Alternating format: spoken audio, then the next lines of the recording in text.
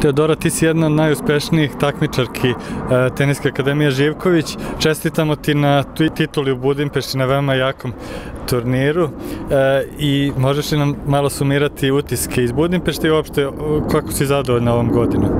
Pa turnir u Budimpešti je bio jak turnir, mislim e, najjači u toku ove godine i, i to je turnir e, To je ITF, je li tako? Da, ITF turnir. Uh, to je prvi ITF koji sam osvojila. Igrala sam ove godine i finale u Ulcinju i celo leto nisam, nisam igrala turnire jer sam bila povređena i osvojila sam sa 14, ne, sa 14 godina sam finale igrala u Tirani isto ITF-a.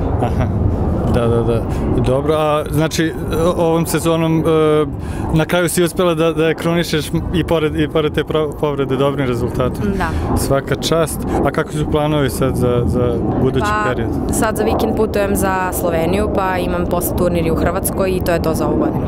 Gde? U kom, u kom gradu? Isto. ITF, je li tako? ITF turnir Krk, u Krka. Dobro.